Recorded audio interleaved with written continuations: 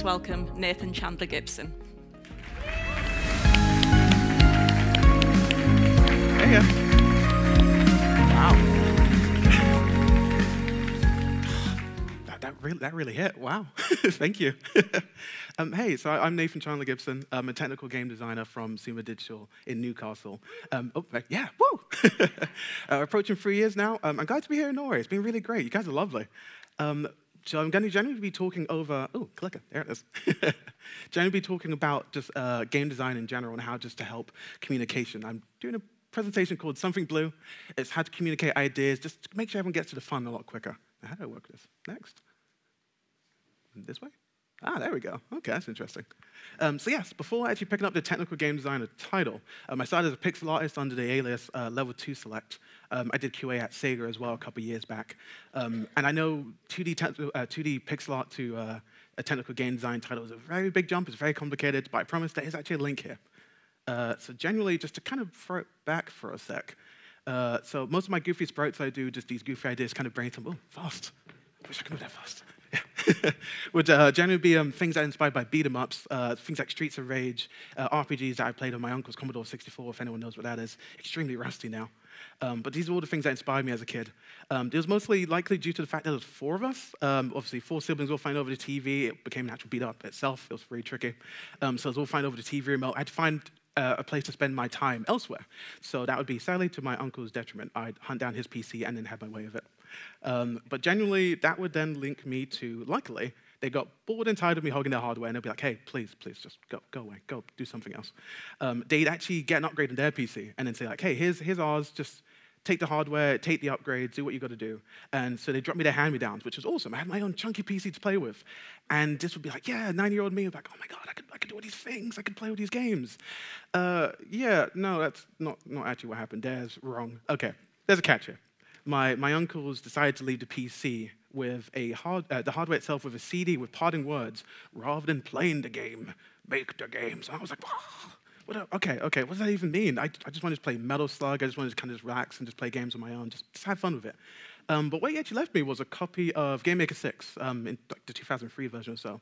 Um, so obviously, luckily, over the time, I learned how to kind of like scrabble kind of ideas together, um, work with GML, Game Maker language, just like 2D things, basic coding language too.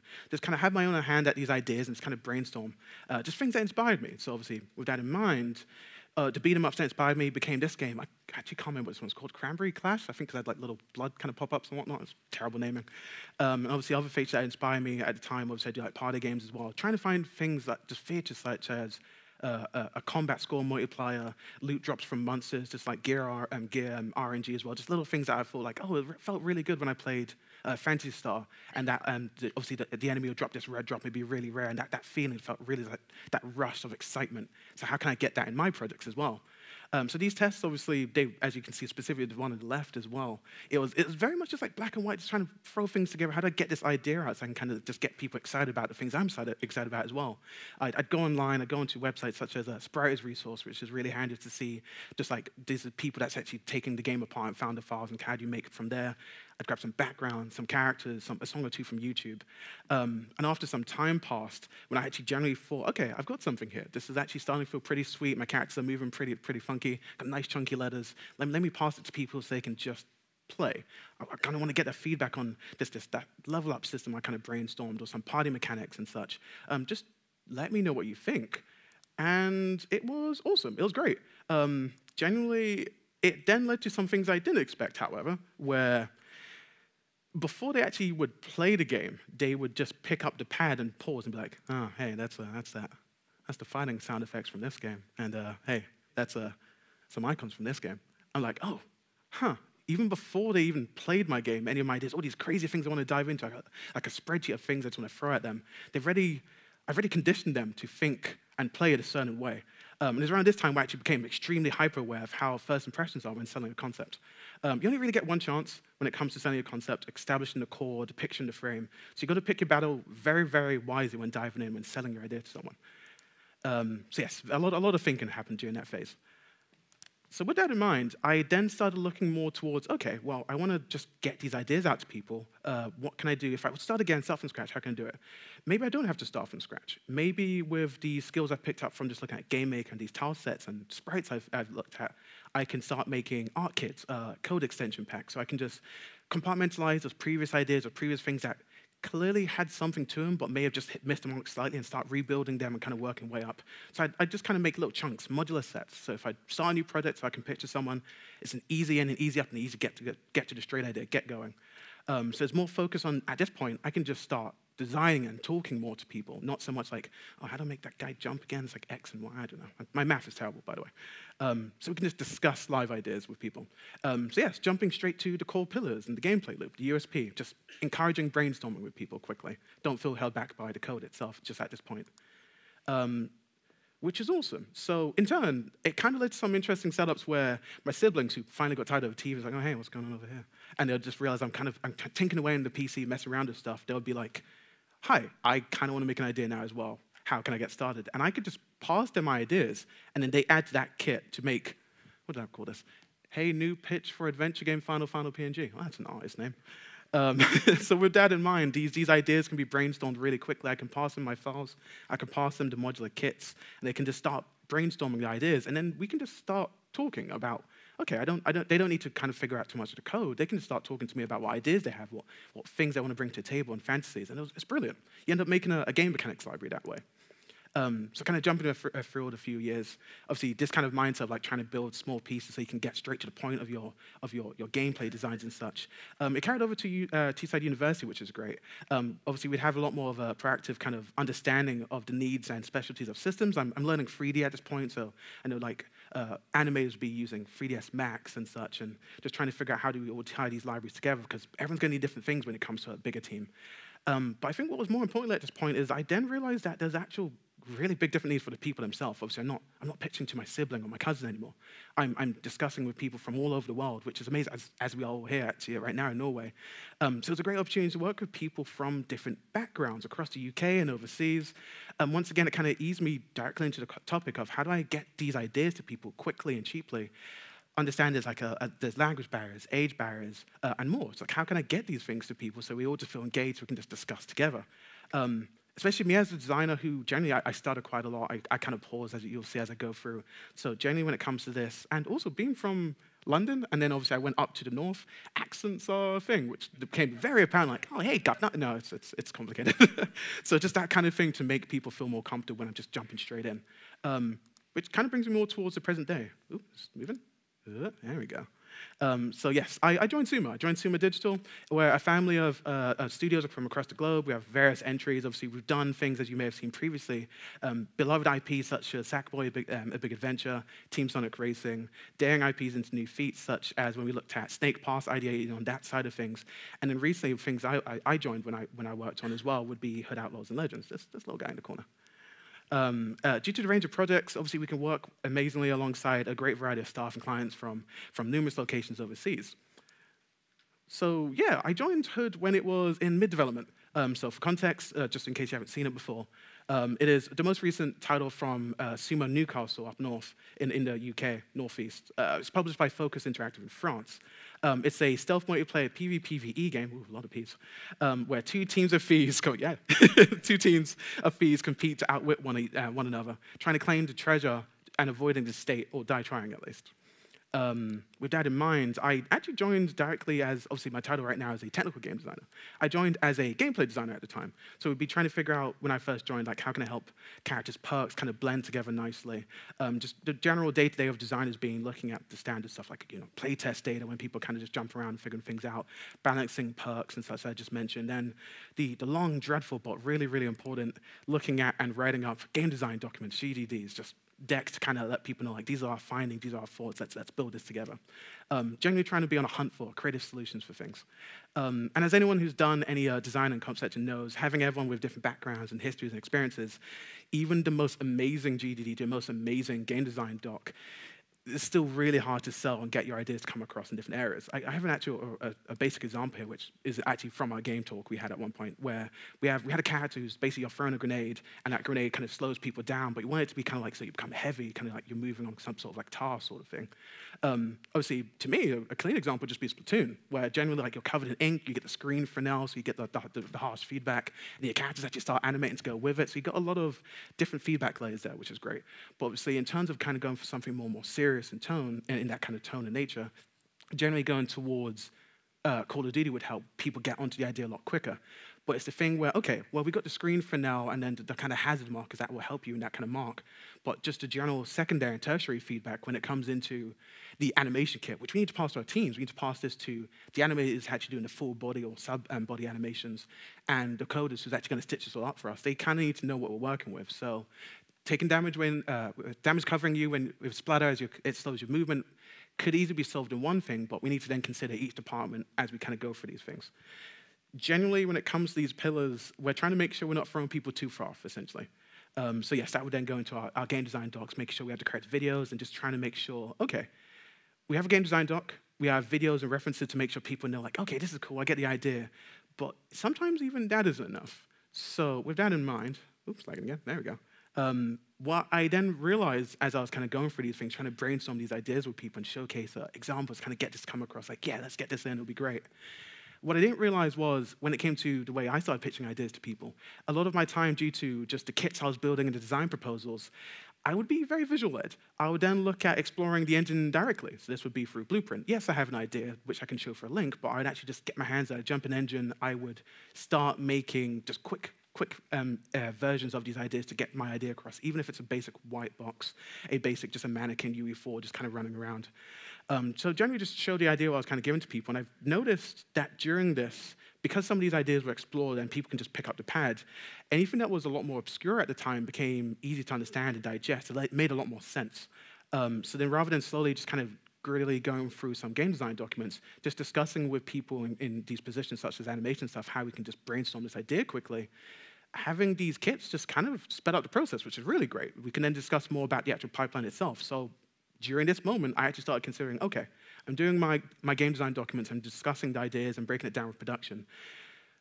Now I'm kind of being hands-on. What is this title? It's getting complicated. Um, so this is where I started exploring just the area in terms of like game design towards technical game design, um, which then goes to a question being, I've been asked a few times, what does technical game design actually mean in a team and how it differs, uh, differs from other roles? Um, it's actually gone into a lot of questions to do with like hierarchy and, and general the title itself. Um, with that in mind, obviously this completely differs between a, a, an indie studio or solo developer versus someone who's obviously working in a, in a larger AAA studio, say like 300 plus people.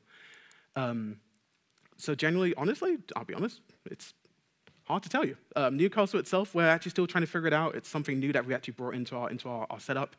Um, generally, as we've gone through searches over the years as well, it's extremely loosely defined. It differs from person to person, and as I said before, the needs of the project too. As I said, a smaller team could be more hands-on, while a large team may have more specialists that you can refer to. Um, in terms of our, our Sumo Newcastle office, obviously we have uh, strike teams. So we generally have like each, each designer would be with an animator, with an audio technician, with, with engineers. We're all kind of brainstorming together. And that could be different areas such as we have like our combat team or just generally like our, our level design team, environments and mission exploration. Um, and that way you generally know who you can kind of just quickly like, bounce ideas off, generally as you discuss your, your, your, your great, your brainstorm, your great idea. Um, I think the strike teams, you could also see this as, as brain trusts, which is from uh, Edwin Catmull, I believe, um, generally from Pixar. People just need, people will know what's going on quicker because you're keeping everyone in the loop. You're not having one team in one complete different department sketching ideas up and drafting things, and then have to go across the hall to pass it to another team, and it can, things can get lost in translation that way. Um, and I think what's the main thing here that we've actually discovered as well is it generally just kind of keeps people feeling involved, especially in a, in a world where obviously we had um, we had lockdown, obviously. Everyone's now working hybrid, working remote. Um, there'll be a case where there's a lot of people now just essentially, you may not actually see them straight away in the workplace. Obviously, everyone's still putting in and being amazing, but with obviously their avatars as well, you may not see them immediately. So you just want to make sure everyone still feels involved, everyone's voice is heard, um, regardless of what disciplines or what titles they're in. And this specifically, I think, really helped for our gameplay and, and, and code disciplines as well. Um, to go into detail, I think the kind of link between the code and design disciplines is, for, for a technical designer, is we're able to kind of communicate our ideas a lot quicker without having to pause, as I said before, to write up too many things. We can get straight into discussion. What happens, what's helpful with a technical designer, I think, as well, is you can generally have, okay, if you have our, our, specialist designer who's actually kind of more focused on, hey, this is the things I'm looking at, the research I got, and the coders are kind of starting to think, figure out ways to piece it together, a technical designer may actually have a, a broader, a, a, wider experience and idea of how these two systems can work together, and as I, I, mentioned earlier, how to modulate those so we can kind of prepare for future work, so we can save time production-wise as well. Um, just to aid in discussions, we can keep pushing forward. Um, so more of a communicator between the disciplines itself. Um, it could also be an explorer of the systems itself and the tools. Um, so generally helping to avoid waste time, as I mentioned before, when stepping into the unknown. Um, obviously, if it comes into like, okay, one of the things you may not want to do too much when you're on a live project because risky is to move from UE4 to UE5. Maybe having a strike team dedicated to that and a technical designer realize, okay, what, is, what does this team need? What, is, um, what does this group need? And then how do we kind of figure out is moving forward into a new engine the best experience we can do right now is, is a great way as well, just exploring the systems. And last but not least, we have obviously the maintainer of standards and practices. And this would be generally optimizing your pipelines. Obviously, if someone's kind of mocking things up just to showcase people, they may be looking into blueprints and setting up their own folder, uh, folder directories, trying to make sure for obviously bringing these kind of things to the table, you don't want to make uh, anything harder for other people. So just making sure someone knows, like, to someone to refer to what would be the best structure for this, for this collaborative workflow. And as I mentioned, it's gone all wiggly now. There we go. Um, these are just pure examples. These aren't um, the, the, the, direct rules what to do if you're doing this kind of uh, hybrid work setup or a technical designer role. This is not one shoe fits all. And I think it's just something you as a studio can explore to see what works better in terms of either specialist or multidiscipline. Um, obviously, me in my youth, as I mentioned before, it's, I was mainly looking into exploring tools and how to modulate general uh, ideas and systems so people can just pick up and play, just jump straight in um, kind of similar to things you'd see in like uh, other engines such as RPG Maker would have just things I can just give to people so they can discuss. Um, and I think with this as well, then you can then start looking into just how we can aid colleagues, streamlining the bloat so we can just all kind of start moving forward and just get to the fun a lot quicker. Um, and yes, uh, in an industry obviously where a lot of changes may come out of the blue, obviously you're kind of running on a sprint, obviously trying to make sure your game's getting out the door in time, things may change. This can actually see, you can see a technical designer as well as a shield, someone who's generally trying to make sure if something's coming out of place, they have a, a global overview as all the different roles I mentioned. They can help communications and make sure the teams come together, um, reducing any user error, uh, error where you can. Um, and I think what's really handy, specifically for me, someone who, who stutters and such as well, um, when it comes to feature sign-offs, making sure your, your game design document and you, your, your signing of the document itself to say, yes, this is what we're going forward with, isn't just uh, hard copy material in terms of like paper and pencil and such. It's something that you can actually keep with the project itself and show, hey, you have this document, this video. It may be a little bit draining to sit through. Know no one wants to sit through like a, a Word doc of just like pages upon pages of words. In this case, you don't want to mislead people. So here's a little little corner, a little playable snippet that kind of can come with it as well.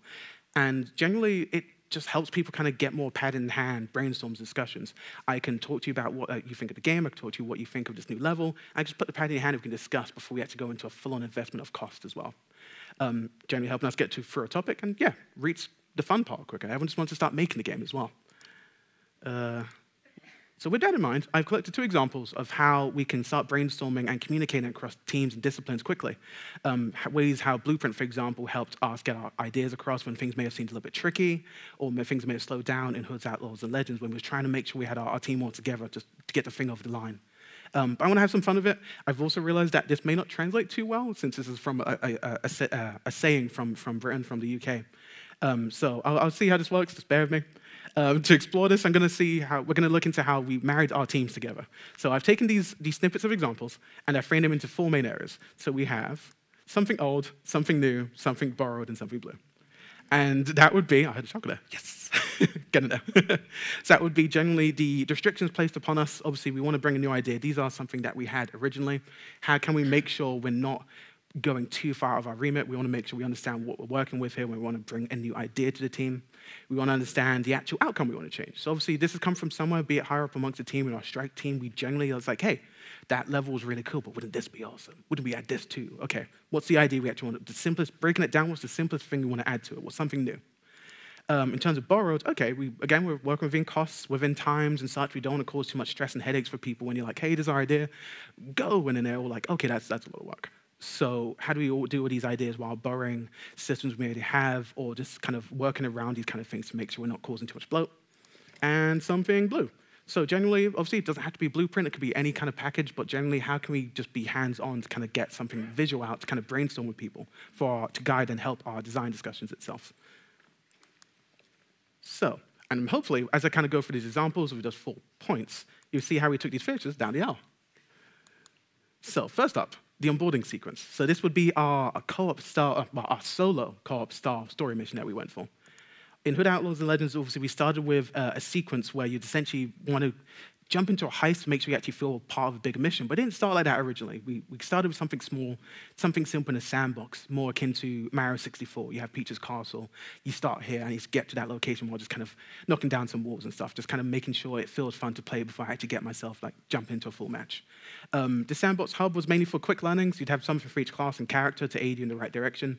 With our like a big brawn kind of character, our strong character would be something that you can kind of break down. With more of a nimble character, it's like kind of making sure there is a bush or something you kind of can hide and stealth through because we want to make sure players know the, the versatility of their kit. Um, so yeah, you can see the actual the hub area as well, kind of spread out. Um, so this was our, our, our, first example when we started looking into it, obviously preparing like little pop-ups as the characters kind of walk through the, the teaching prompts. So instead of just being a basic hub, we had a little obstacle course to let you know, like, hey, you can jump over here, you can crouch underneath this. Anything that would also help guide discussions for any pop-ups that will come with concept art as well in the future. So kind of starting to look into that area first and foremost, just a basic pathway.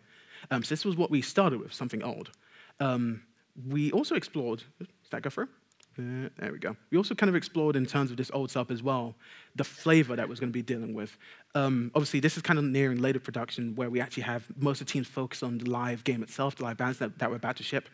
So we wanted to figure out, okay, and it comes to just onboarding people to feel confident and they actually want to enjoy and indulge in this world, how do we set the scene? So we ended up looking into to different audio snippets. So I think this is a case that kind of eased down with a camera to kind of set the mood. And we was looking at audio such as like the Dark Souls um, hub theme where you had the bonfire. And I think we used Hades' audio, like a few tells tales of Hades, just kind of kind of set the tone. And I think this first test, which was just again, once again, just thrown an engine and videos and pad, just let people feel it. But just so we can feel out, hey, so this is a basic starting point, just kind of ease you into the game. Um, but when we say the story uh, environment, the feel, and the vibe, is this what we're talking about? Is that the right direction? Let's, let's kind of discuss more. Sounds like a, an, an uh, original point we started with. Um, but breaking that down, we then discussed okay, here's a, here's a checklist of the things we want to explore further. So moving on to something new, these new items would be okay, what teaching prompts can we change so a lot more cleaner, as seen in that kind of mock up image we have here as well?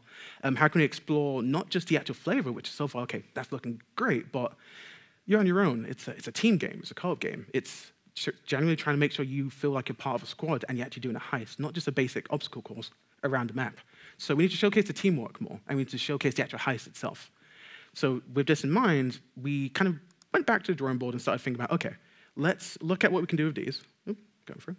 And kind of focus on those last two points. Our initial point, as we mentioned before, we already have the flavor. We already know what kind of video we want to go for, or like a voiceover to kind of set the scene in terms of actually being in a heist environment and the setting flavor itself, we realized maybe not, don't, don't put it in a hub because it'll feel like too, too bare bones. We already have this luscious map from our multiplayer game already that people are playing. Let's actually just start looking at this map as a mission as well. Also, it kind of makes the world feel bigger when you can use it for multiple purposes, not just one, one kind of corner. So generally, I think the challenge would be, as we was doing this, we also was restricted by PlayGo, I believe, um, on the PlayStation system, trying to make sure if the player is going to be offline while obviously downloading uh, the extra files, how can they still play its mission? So can't, there's no co-op here. You can't do it like a co-op tutorial or anything. You're on solo play. Co-ops, uh, any AI companion with that in mind is also going to be completely out the window because we are, obviously, we're still punching above our weight. We only, at this point, I think we had like four animators as well. Um, so our team, even though we're obviously in uh, double A in flavor, we're still punching up. We're punching above our weight to try and make sure we know what kind of like quality we can get but we don't want to half-ass things. We want to make sure it's still the best experience we can offer people. Um, so the questions became a little bit clearer, I think. Generally, in regards to those last two points, it became generally looking at, okay, we have these co-op actions. How can we still maintain that heist feeling before you actually go into a full-on heist? And generally, something the team that wanted, the team itself wanted to explore. Every, every department and every strike team was trying to figure out, okay, what can we do with these kind of setups without needing to then go too far into like, okay, if we're gonna have if we were to have people move around in the background to kind of stage something, that's obviously more more mocap time. We only really had one shot to get our, our full mocap list, so we can't really keep going back into that area. What can we work with? Um, so yes, we, we obviously we brainstorm what can we provide for the studio so we can make sure we can get that satisfying onboarding open experience so people can just jump into the game itself. Um, one of the things we actually jumped straight into to explore was just the engine itself. We started seeing what tools was available, and we noticed that sequencer itself could actually be used to just take previous gameplay recordings and kind of manipulate it in a different direction. So obviously, at the same time we're doing QA playtests, people are kind of messing around with the game as well. Um, just people trying to figure out some, uh, obviously we're doing perks and balancing at the same time. While we're doing this, why don't we just record our session? So, you know, we've got our, our monk, the bold guy, uh, Tuck. Obviously he's done the mission, he's gone and picking up the treasure chest, he's bringing it to the winch. Why don't we just record that? And then it's almost like a role play where we can kind of re-establish those beats in the mission itself to kind of fill the environment with li- like livable, breathable characters, make them feel more alive. Um, generally, this will obviously be just trying to borrow the kit we have at the moment to see if this is the direction we want to go. Let's, we know for a fact doing AI is too much and all those kind of things are out the window, but people really want it. What can we work with? So this was our first test we kind of looked into. It was a good launch point just to make sure we know some sort of co-op is definitely desired and it kind of hyped people out to be like, yes, okay, this is possible. There's something here. How can, how can, we, how can we bring this to the table now? Um, so people started to feel a little bit more confident between working within our means and obviously, at the same time, the level designers are actually looking at a, a mission kit to make sure everything kind of ties nicely together. So while obviously we are documenting, documenting our work and our findings, how can we do our, our, our missions as well with this current kit we've discovered? So what we did, we then obviously go back towards our level designers who's doing the mission at the moment. So obviously we are, we're back in the graveyard where we currently have Hood who was, he climbed up a tower and he got to top and looked over and then he jumped down for some reason, which is very out of place for him since he's actually a sniper cat. He, he wants to stay up above, he wants to stay over view.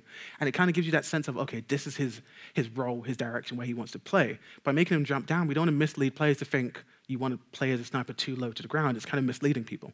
So to reframe that with the test that we just discovered and the things that we've just looked into, we just reframed it with having him mark a nearby enemy with the objective itself, the key to the treasure. And then we'd use our sequencer tests to just pull the camera out, as we saw in our first test with the Hades audio, and then use our automated tested the role play characters we have to kind of sweep a character in, do the blade, and then kind of set you into scene. So it kind of gives you an idea, a small taste of what our character can do up front before they actually are given to the player to jump straight in. Um, naturally, by using our mission sequencer that our uh, level designers were looking at as well, we can easily kind of tie all these things together. So with the objective prompts, we had obviously Hood climb to the top, uh, Robin Hood climb to the top of the tower, and then instead of just jumping down, just that trigger itself will move us between areas. We can also use this system for our checkpoint system. So if the player was to die at any point, they can just get back straight into the action. So all these things are piecing together really nicely. Uh, so yes, we cleared out the experience in the heist escape a lot better, I think, at that point. It started to look more feasible. Generally, we know how we can actually do the phases now. It's not just one guy, one man team doing everything on his own. It is, we are a team, we are a squad. But we didn't quite showcase the actual teamwork itself. They are working independently, which is great. It shows that even though they are on different scales and different levels, they're all part of the game, they're all contributing to the greater, the greater match. But in terms of actually being with your ally, it's something we can push just a little bit more, I think. It's generally trying to figure out what else could we do when the rest of the departments and teams start asking the obvious questions. Hey, here's my idea. Yeah, but what about uh, what about when you heal? This, we've got a lot of healing actions in this. Or obviously we've got when it comes to takedowns as well. Can we kind of show how co-op takedowns could work? Anything that we can experience, show the experience to the player up front, so they get hyped to want to try these things out further on with groups of friends. Um, so yes, these would be a good solid start for our, our, our, testing ground, but we still need to kind of check out those edge cases so we can make sure when we actually start developing the actual, pro, the actual material itself, the team knows what's the limit we can push and how, well, if there's any other way to push around it even. Um, so to help frame the healing, for example, we simply had our, our, our role-playing Marianne, the assassin cat, to have a little tag over her head. So this would mean discussing with the UI team and the programming teams, like how easy is it to get basic tags? Can we just have a, a little prompt that shows that they've taken damage? Maybe play an audio singer to say like, hey, um, I need healing. And then with that point, you can generally just have our cat kind of just follow like it's an actual like uh, an RPG party, essentially. Um, with that in mind, that helps obviously keep the conversations up, just letting people know what we're looking into, what we're investigating, what kind of brainstorms we can do. But again, not just as bullet points, just actually something visible so they can see what we're trying to get towards. Um, and this obviously is further as well.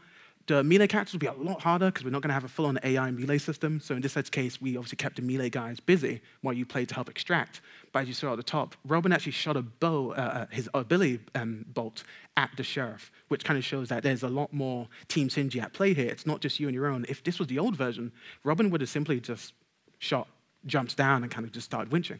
So it kind of makes sure everyone still feels like they're part of a greater play here, a greater team. And ultimately, they are a group, they are a squad trying to uh, escape here. Everyone's key. There we go. So yes, we were able to do some findings, and we was able to find out, obviously, we was exploring the Unreal functions, um, people was able to aid each other. We was able to aid each other's disciplines. We can discuss our goals quicker and swifter, um, and actually just give these playable snippets to people. So instead of just having a long shopping list of uh, requirements, with a small strike team, we were just able to kind of brainstorm and make something quick and be like, let's know your thoughts. Let's move forward from this. Let's see how we can change it. We can iterate from here. And, and then we can start actually costing and iterating and cleaning up the code properly to actually make something for our game itself um, using the, the, the, the, mission layout from the level designers.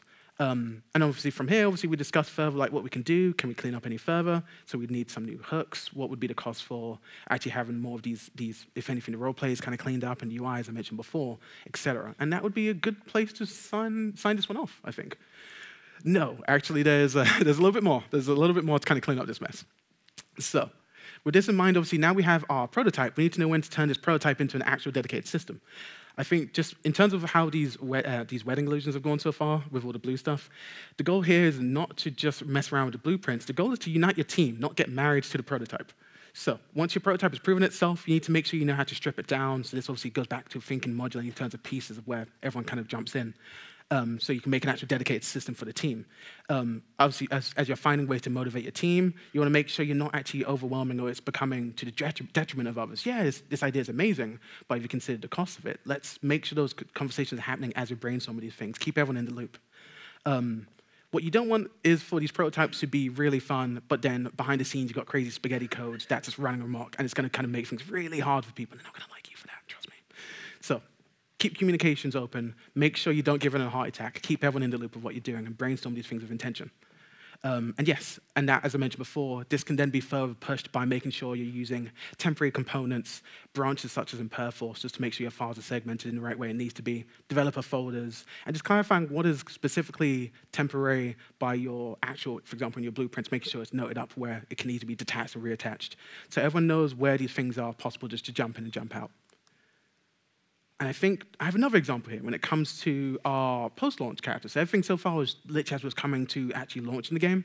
So in this edge case, we have a, obviously the game's now been out. We've moved through season one, and we're trying to make sure, obviously, now with the players, we know what kind of things they want to test and what things they want to mess around with. Going on to a new hero would be interesting. Obviously, standard how you have, obviously, like in Overwatch or MOBAs, you're trying to bring a new hero to the conversation metas go real crazy, real quick. So in this edge case, we need to bring our new hero to, to the game, being Ada the question would be now we are post launch, trying to figure out when we have these metas and obviously doing these play tests. We already have our four mainstays. We have John the Brawler, Marianne um, in our assassin role, Tuck the Mystic who can heal, and our sniper elite being Robin Hood himself. Where would our next slot obviously come in for this? How can we start brainstorming this while everyone at this point, obviously, we may be looking at other projects, but specifically, we are now a live game. It's not simply pencils down or obviously that little brushing at the end. It's still going. We're having live feedback from people, getting live bugs to fix. We've got to keep iterating. It's also a competitive game. It needs to be as polished as possible. So adding a new character is going to be a real tricky one, especially with our team, again, being not, not a, a larger AAA studio. How can we make sure we can make sure people are on the ball when it comes to discussing live balancing as well as adding new content in? So looking on to obviously something new, branching off those four older characters, we obviously need to then discuss, obviously, again, half the team's looking at things like crossplay and such as well. How do you bring a fourth character in? So we looked at statistics, obviously, to start off again. This would just be your standard game design setup. What, what are things that people are saying? What things they want to test and play with? Um, what can we do to re energize this hostile competitive environment? Um, so this would be obviously further looking into the play space. So this would be like, okay, we haven't got so many characters that can actually barricade a door like you'd see in Tom Clancy's Siege and such. Maybe that would be a good idea. Um, brainstorming things like, okay, well, this game's stealth first and foremost, but obviously we do have two melee characters, but we don't want it to always just be, obviously, looking at things like Dark Souls, but in this edge case, ours is stealth first and foremost. We don't want our melee to always be lock on and kind of spam stamina way. It's, it doesn't want to be too one note, so let's see if there's a way we can add an additional layer to the combat if there's any way. So that's the second thing we want to talk about. Um, a third thing would be obviously we have ultimates in the game. So obviously we have our healing and our invisibility when it comes to someone who can say do like a, grenade throw or it's like the explosive shot that you saw that Robin with the blue arrow shot, there isn't actually a way to kind of counter that. How can you counter that and have a clean getaway? We're having all these different types of discussions in terms of what the heroes can do, but how do we want to make sure, as we're adding a new character in, there's clear counterplays to them? Um, so yes, we have our, obviously our initial design discussions and start brainstorming what we can introduce to the table, and then we start bringing our notes together for Ada, the Sellsword, which will be our fifth character. So Ada would be our area control character first and foremost. We start brainstorming how you can shift between offensive and evasive plays. So obviously, if you somehow got caught, you need to get away. Can you get away in time? Can you evade someone coming at you and get sneak back into the shadows? Or if you are in combat and literally your back is against the wall, well, what do you do here? Can you actually stand for yourself? And it's trying to make sure those two kind of notes actually feel satisfying, this kind of setup where you're always on the kind of the back and forth between uh, combat and stealth. Um, so we were looking to things like being able to like dodge and parry. So it's trying to figure out like, okay, we're going to mix some things where if only at the moment melee characters can actually block and uh, range characters can evade, if this character wanted to do a type of uh, dodge and parry follow up, what would that be? So that would be okay. We're looking into mixing some character abilities together, something we need to explore. Um, adding a, dynamic combat layer if they're doing follow ups, like how far does your combos actually go? So it'd be like a set of a standard free hit. Maybe you do a double back step if something else is pressed. So this would be looking at things like fighting games. We have multiple tertiary layers to make sure one character's kit has a variety of um, ways around it. Um, and obviously, as I mentioned before, trying to figure out the area control can we block doors? Can we make sure if I have a point, so in this edge case, we use capture points, little glowy areas to let you know, like, if I died, I can respawn here. How can we make sure we keep people out? It's very easy to get in this game, because originally was thinking mainly against, obviously, AI na um, navigating management. But in this edge case, sometimes you want to make sure you can just, if you block a player out, maybe there's a trip line, something to let you know that something's coming. Something so you can add more comms to your co setup. So yes, back to the drawing board. Thinking again, little face in the corner. What is new? What can we do to make our hit new hero with these new complete fighting systems quickly? And then how can we make the actual combat feel dynamic when you can't avoid it? So this would be blocking people away to protect your base and such. Um, so yes, we, as I mentioned before, we started looking into the borrowing section. So what can we borrow from our current kit? So we have, we want mix abilities and a dynamic combat layer. Obviously, when it comes to um, John at the top, he has the sledgehammer. He is more of a powerful solo kind of combatant. You can rely on him to kind of hold the gate up with, with, on his own as you rush through, kind of take down heavier armored foes with ease while you can't quite snipe them. While Tuck at the bottom with the flail, the healing guy, he can obviously do a wider sweep in case there's needing some, some crowd control in that way. Um, so finding a nice way between those two would be a good start. So that would be a question of, okay, we already have two good, um, good starting points. The game is live. People can play test these at the moment. They can play these at the moment. We know how people use and abuse in terms of like obviously game metas as well, both roles. How can we try to fix these characters at the same time while learning how we can apply their, their setup onto a new character? So back to the blueprinting side here, obviously, again, as I mentioned before, we only got one mocap sheet, so we need to be very smart with this kind of setup. So I think our initial test was just something real basic blueprints-wise. We asked the code instance if this is okay, and just a, a, basic function so we can just plug out one moveset and plug in another one, essentially like a quick character select. And our first thing we tried was essentially you were more of a sturdy character with a shield on your back.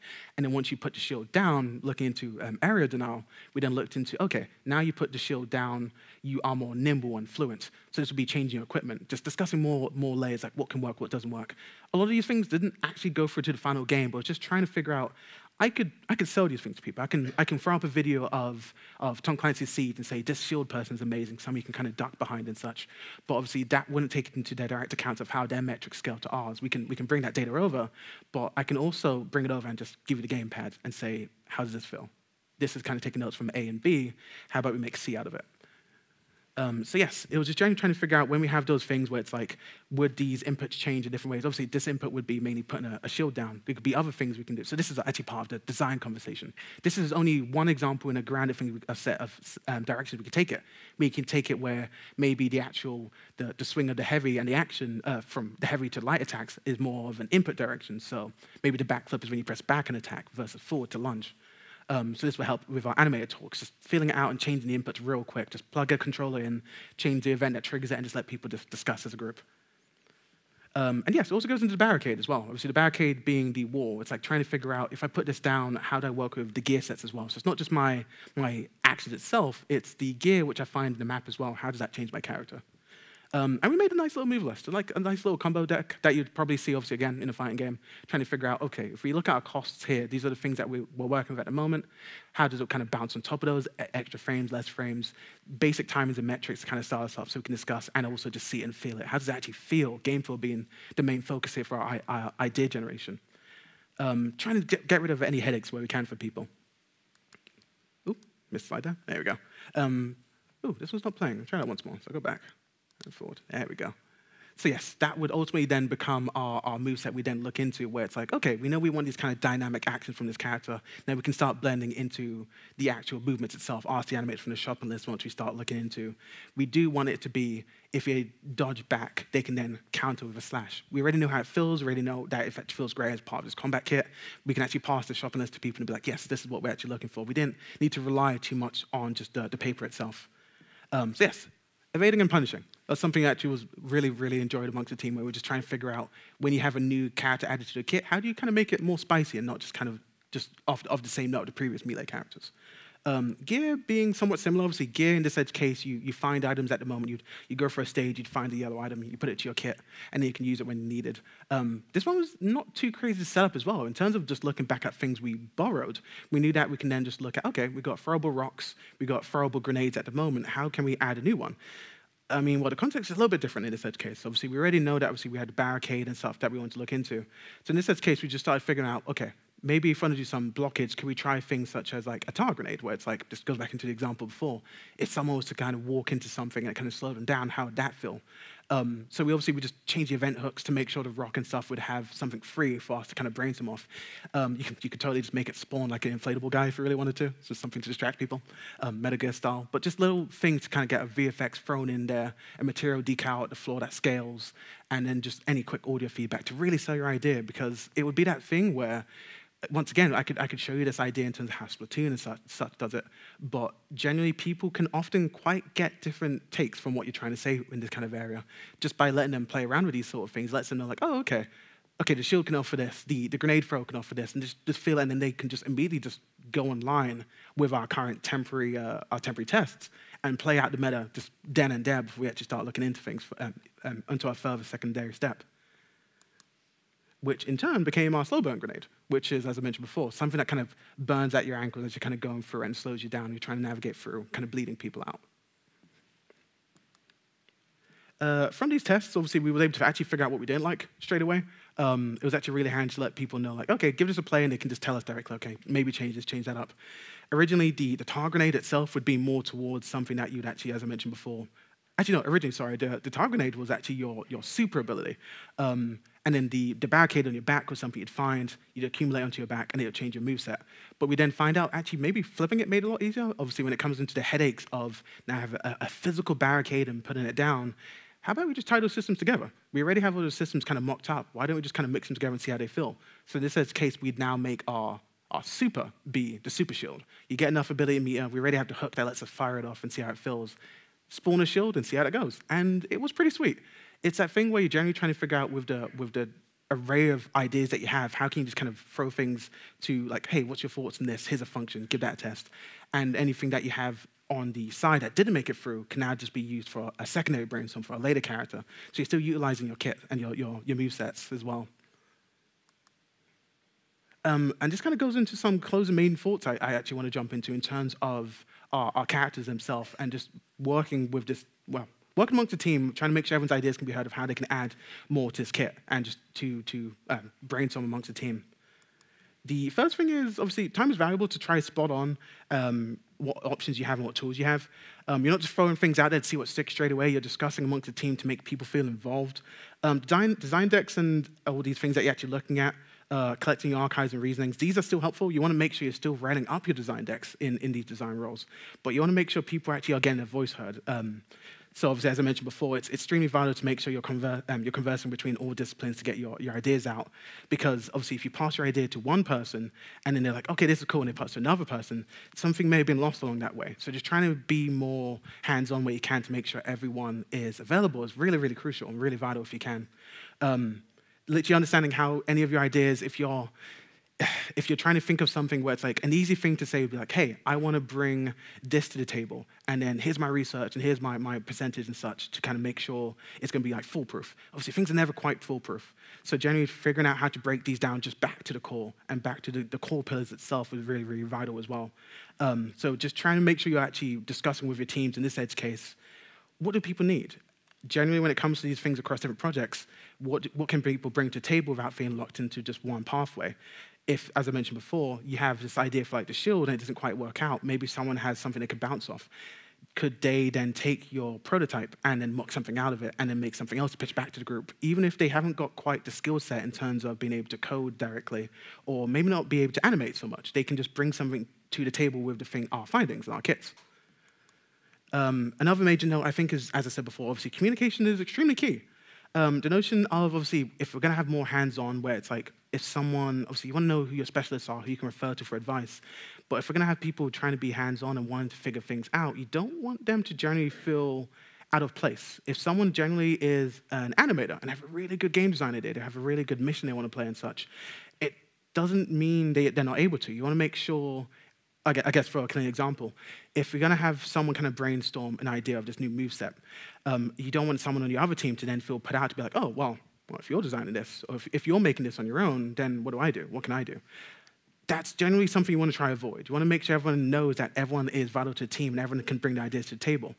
Having a tech design title or generally being in this kind of situation where you may be multidisciplinary doesn't make you a one man team. You need to actually know your limits as well. Um, outside strike teams, um, obviously, if people don't have that title, they may think like, oh yeah, so this title means you can do X and Y, right? Does that mean those without the title can't do those? No, that's definitely not the case. It's generally trying to figure out amongst what your team is working on, how can you figure out what their needs are, and how can you get them to the forefront of the discussions as well. Um, uh, a talented colleague of mine actually mentioned had actually really enjoying mechanic uh, gameplay explorations. Um, working in a different studio, they're currently on the art pathway. Obviously, they're looking at the art discipline, doing environment and props and such. And there's been many times where Jeremy would come to a table and be like, I, I, I want to I, have, I have an idea, but I don't know how to say it to. And it kind of, you can almost see they almost just about get it, but kind of pull it back. So it's generally that thing where it's, it's nice that they can always have someone to discuss this with. So in this case, they come to me and say, like, I have this idea, can you pitch this for me? But rather than just passing their idea along down like a, almost like a corporate line, like title to title and role to role, it's just trying to find ways to motivate them to let them know, like, hey, you have this idea. Like you brought, you thought of this idea, not me. I could, I could take the credit, but where would be the fun in this, and where would that leave you in the grander scheme of things? So genuinely, just trying to motivate them to let them know, like, no, no, this is a great idea. We, I'll, I'll come with you if you need to. We can discuss with this person. Um, I can help mock it up with, with you if you need to as well. Bring your idea to table, and then let's discuss as a group. Um, they don't need to feel back, held back by their, their title or their hierarchy. Just because they're not the same discipline doesn't mean you can't be involved in those talks and making sure we're all just making the game together, all having fun with it. Um, I think one of those examples actually that um, also kind of sparked me was in the book Ask Iwata by um, the late president from Nintendo. It, it, shows that even amongst a studio with such prestige, making such amazing titles, and obviously we see the end product. We see how amazing obviously Super Mario 64 became, and obviously how that over the years became things like Mario Odyssey, Zelda the original from the NES becoming Breath of the Wild. These are really amazing ideas and game products, but even these products have their woes when it comes to people trying to make sure their, their ideas are heard.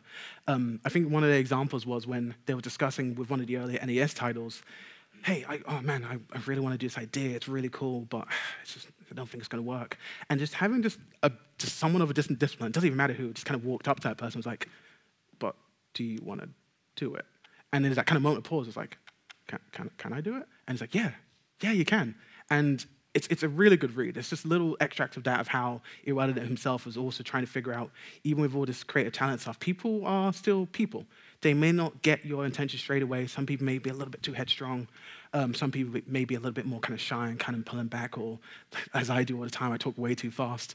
But generally, it's that, that push just kind of let them feel motivated just to try things. Don't feel limited behind a job title or like, oh, if I if I want people to respect me, I really need to run up a job ladder just so I can hit a, a higher title and then and then I'm golden. No, it's it's like even some of us, our amazing ideas come from literally graduate students who just come on because they're so passionate, they're so so just wanting to like jump onto like this is this is a game I played, it's really amazing. Even obviously discussing with people um, last night and people today, joining some indie products people are making, there's some really creative ideas out there. It's just oh, but before I get this idea, then I should, I should jump into this title first. Like, no, no, no, just keep creating, just keep sharing your ideas as you go. Generally, yes, it, it may help if you have a title. Obviously, the experience will help, obviously, if you come to a job, but that shouldn't stop you from just brainstorming amongst your, amongst your peers and more so. Um, but yes, it's trying to make sure there's that, that spark to reignite for people. Um, looking at alternative means if you need to, but generally just trying to find a solution amongst anyone and everyone. We're all generally in this together, and we want to make sure we have this passion that we can keep fostering amongst this community. So let's explore it. Um, I also realize I'm really early, but either way, thank you very much for your time. Um, and I hope you guys just keep being awesome and keep being creative. Thank you.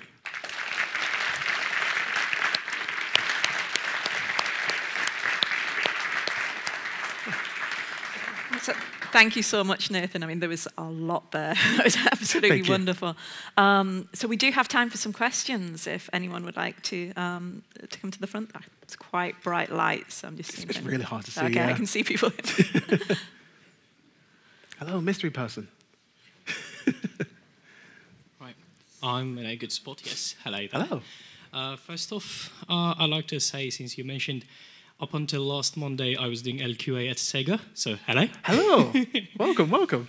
Um, it's been a while. My question would be uh, since you started talking about getting to the fun as quick as possible, hmm.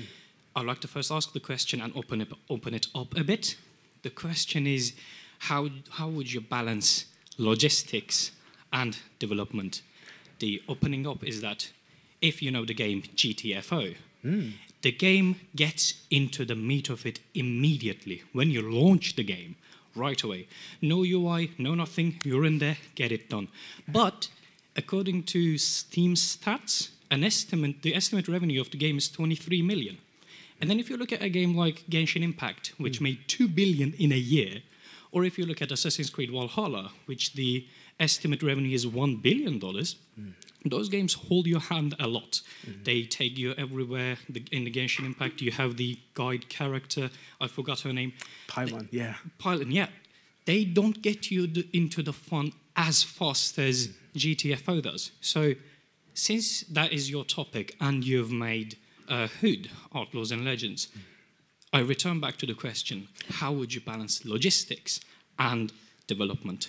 Ooh, that's a tricky one. I guess there's two sides to it. There is the the fun for obviously your development studio, just trying to make sure they know like, hey, it's not all just like obviously the corporate work we, we still got to do, but you can just start brainstorming and jumping in quickly at ASAP. Um, but when it comes to the actual gameplay itself, I think that then goes into just the the actual onboarding experience, which is it's a bigger a bigger topic there. I think when it comes into it, as as I mentioned before, we have a generally when it comes to brainstorming how you welcome people into the, the initial moments of your game, obviously first impressions, as said obviously in the presentation as well, is a major key. Generally, when it comes into the onboarding setup, you'd have your you'd have your, your clear needs of the things you need to showcase to players to let them know where they can go. But a lot of this, actually, I think obviously it differs from game to game. Obviously, live service like Genshin Impact versus like a closed story game. But even a closed story game, like um, in this case, we have our, our Assassin's Creed, became more open world and sandboxy.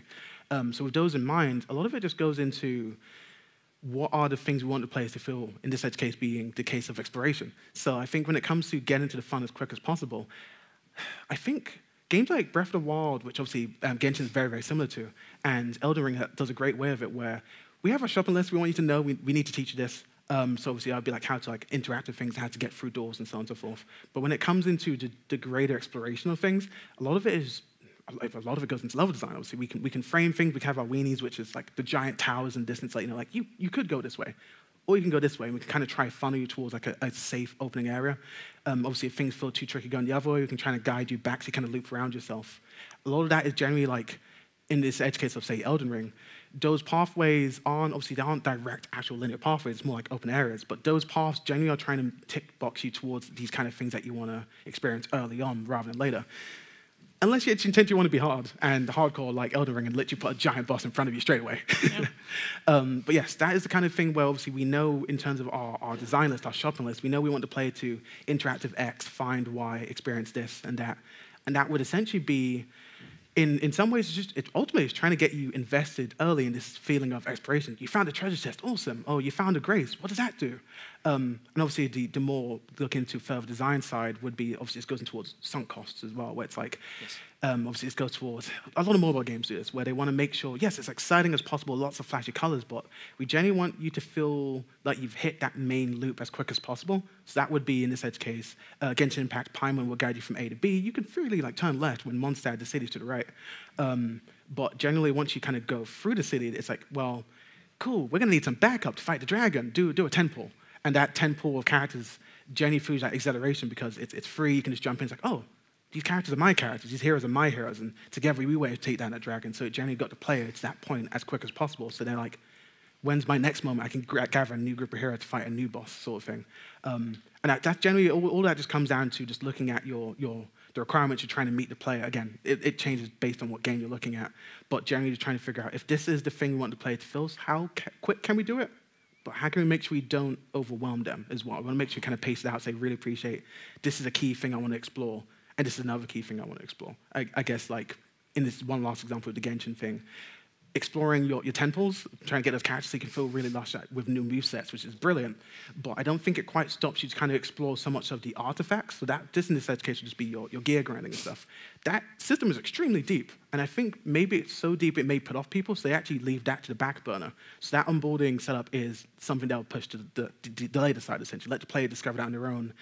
And now you have this other side of onboarding where sometimes it's good to not teach everyone something. Let them figure it out. Mm-hmm. It's generally like I'll intentionally withhold that information. Obviously, maybe a little breadcrumbs here and there, but once they kind of click, oh, these two things do a thing.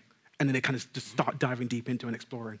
Um, I hope that answers your question. A lot of it is obviously it's very sort of, no. um, different areas in that kind of in that kind of side. I'd say that was pretty well.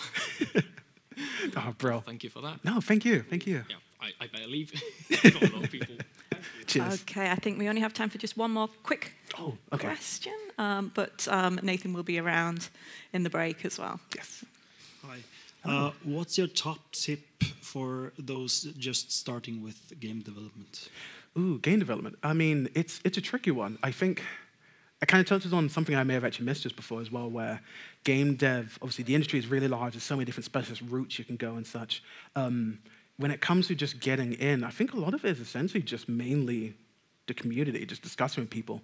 Obviously, in one route, it can be towards more of an indie studio where it's like you may be doing multiple disciplines. So I, that's why I, why I personally use the word game dev because I'm not specifically saying like designer and whatnot. You may be doing multiple things, just where we're devs, we're developers well, obviously, if you're going towards more towards like a, do, you want to do QA, which is a whole a whole deep area in itself, functionality testing, or you want to do um, obviously art and animation, which are all obviously completely diff- diff- um, deep different areas.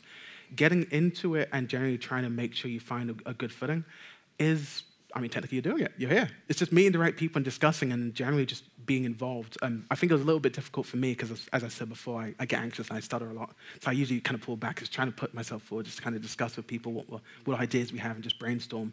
Um, but when it comes into, obviously, just getting into it, there would be there's a side of actually getting a position, which I'd say there's plenty of ways. Just like obviously you can apply online. Obviously there's graduate position itself. But in terms of actually starting up a project, like I want to start developing something. Um, yes, I think that's where it's definitely looking into your community and trying to make sure like okay, what things well, what things do you really want to do, and what things do you really want to bring to table, and trying to figure out where are those people. Those people it's really hard to gauge at some point, but all around you, generally, like when it comes to, obviously, early on we had to talk about make a game with bananas and physics bananas, and obviously you're generally hearing that's getting that kind of that spark out of people. It's like that's actually pretty funny, and obviously we heard Nidhogg pop up. Just trying to figure out if that's something that you generally find interesting, like talk to those people, like try like look into the idea further, and just kind of brainstorm with people.